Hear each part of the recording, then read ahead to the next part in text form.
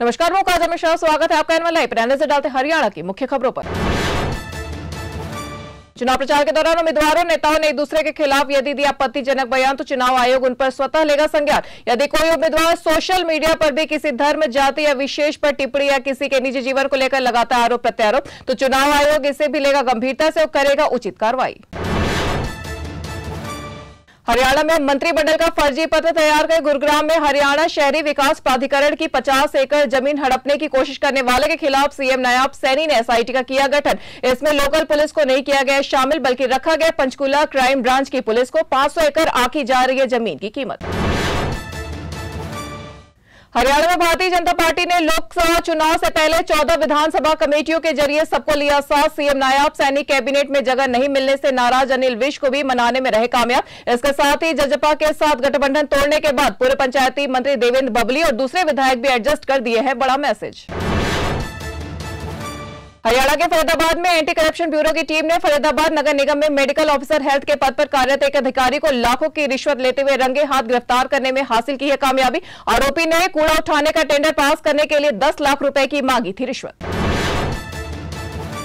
Ambala cantt में civil अस्पताल के स्टाफ पर लगे गंभीर आरोप, जिसकी हरियाणा के गृह मंत्री के साथ साथ स्वास्थ्य विभाग के अधिकारियों को भी सौंपी गई है शिकायत। आरोप है कि सिविल अस्पताल के तीन नर्सिंग ऑफिसर ने वीडियो कॉल पर एक डॉक्टर को रख युवती की करारी चाहिए डिलीवरी इस बीच गर्भ में मर गया बच्चा, और डिलीवरी के दौरान फट गई युवती की बच्चेदानी।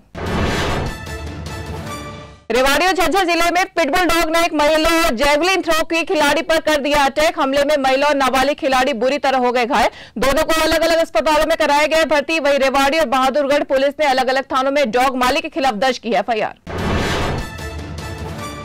गाड़ियों के शीशे पर ब्लैक फ़िल्म का इस्तेमाल करने वाले हो जाए सावधान, क्योंकि हरियाणा पुलिस द्वारा एक से सात अप्रैल तक चलाया जाएगा विशेष अभियान, जिसके तहत ऐसे वाहन चालकों के किए जाएँगे चालान। ऑपरेशन के तहत पकड़े जाने वाले वाहनों के खिलाफ दस हज़ार रुपए का किया जाएगा फाइन।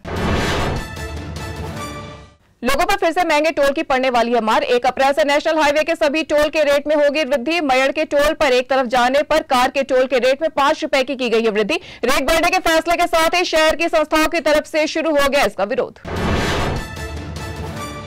हरियाणा के सरकारी स्कूलों में पढ़ने वाले छात्रों के लिए है एक ज़रूरी खबर। प्रदेश के सरकारी स्कूलों में एक अप्रैल से शुरू हो रहे नए शैक्षणिक सत्र में नौवीं से बारहवीं तक के विद्यार्थियों को दाखिला फ़ीस और अन्य शुल्क जमा कराना होगा। ऑनलाइन कैशलेस ट्रांजेक्शन को प्रोत्साहित कर शिक्षा विभाग ने इस संबंध में जारी कर दिया आदेश।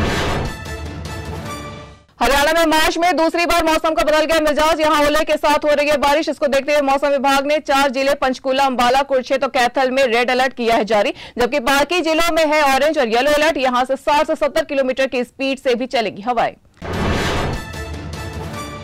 तो ये भी हरियाणा के अब तक की मुख्य खबरें। ऐसे तमाम खबरों से जुड़े रहने के लिए देखते रहिए अनवल लाइव।